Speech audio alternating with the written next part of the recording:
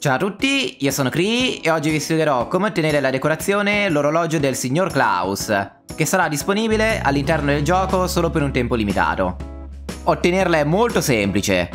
Basta aprire questa tendina e aprire le impostazioni, poi cliccare su questa icona a forma di regalo e inserire questo codice. Detto questo vi basterà cliccare su riscatta e il gioco è fatto. Questo codice è disponibile sia sulla versione mobile che su quella di Steam, ma solo per un periodo limitato. Per l'esattezza, fino al 27 dicembre alle 11.59 del pomeriggio PST.